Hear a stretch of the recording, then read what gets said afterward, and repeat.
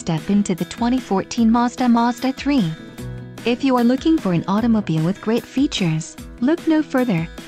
Some of the top features included with this vehicle are pass-through rear seat, intermittent wipers, passenger illuminated visor mirror, brake assist, auxiliary audio input, cruise control, power door locks, rear defrost, and heated front seat, S.